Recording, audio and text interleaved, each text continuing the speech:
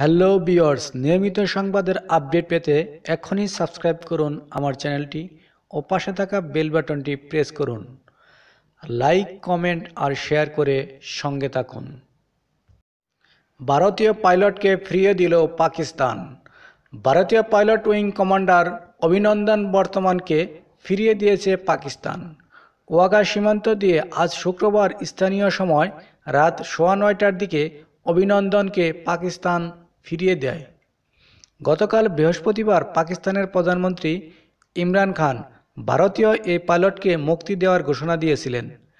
ওয়াগা সীমান্তে অভিনন্দনকে ফিরিয়ে দেওয়া উপলক্ষে আজ ব্যাপক জনসমাগম হয়। অভিনন্দনকে স্বাগত জানাতে অনেক ভারতীয় সেখানে জড়ো হন। সাধারণ মানুষের পাশাপাশি ছিল সংবাদকর্মীদের প্রচণ্ড ভিড়। এর মধ্যে সীমান্তের মূল ফটক দিয়ে বের হয়ে আসেন অভিনন্দন। এনডিটিভি জানায়, পাকিস্তানের পক্ষ থেকে দুই দফায় সময় পরিবর্তন করে পাইলটকে হস্তান্তর করা হয়। শুরুতে পাঁচটার দিকে তাকে হস্তান্তর করার কথা থাকলেও তা পিছিয়ে দেওয়া হয়। নানা প্রক্রিয়া সম্পন্ন করতেই এই বিলম্ব হয়েছে বলে জানানো হয়। রাত সোয়া নয়টার পর তাকে ভারতের কথা হস্তান্তর করা হবে বলে জানায় BBC.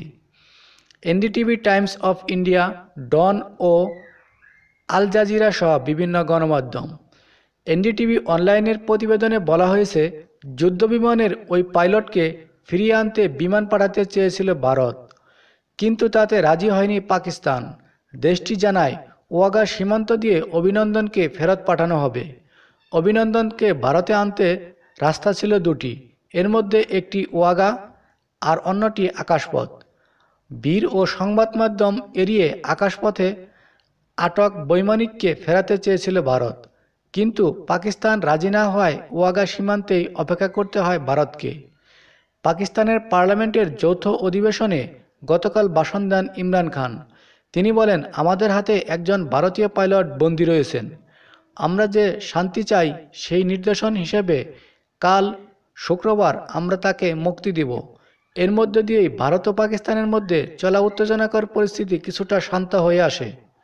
অভিনন্দনের ফেরা উপলক্ষে গতকাল বৃহস্পতিবারই দিল্লি পৌঁছে গেছেন তার মা বাবা প্রথমে জানা গিয়েছিল, বেলা দুইটার দিকে তাকে ফেরত দেওয়া হবে, তবে পরে তা পিছিয়ে যায়।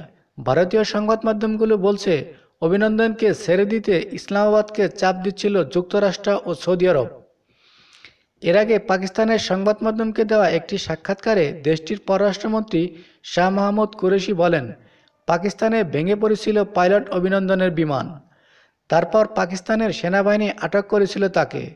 এরপর আমাদের তরফ থেকে অভিনন্দনের বাড়িতে বার্তা পাঠানো হয়।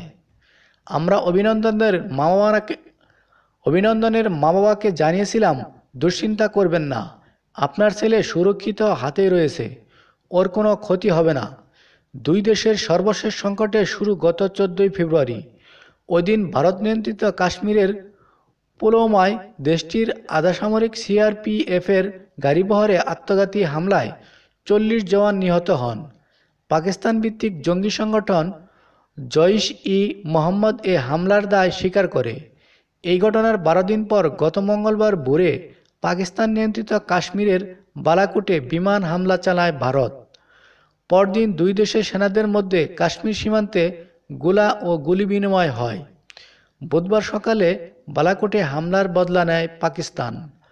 এরপর আকাশযুদ্ধে ভারত হারায় দুটি যুদ্ধবিমান।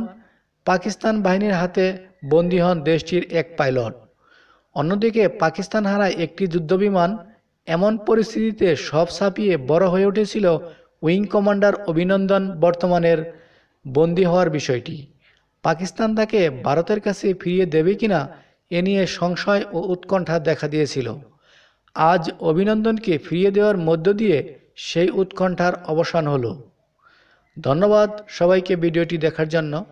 আমার এই ভিডিওটি আপনাদের যদি একটু ভালো লাগে, তবে অবশ্যই একটি লাইক দিবেন আর বন্ধুদের সাথে শেয়ার করবেন।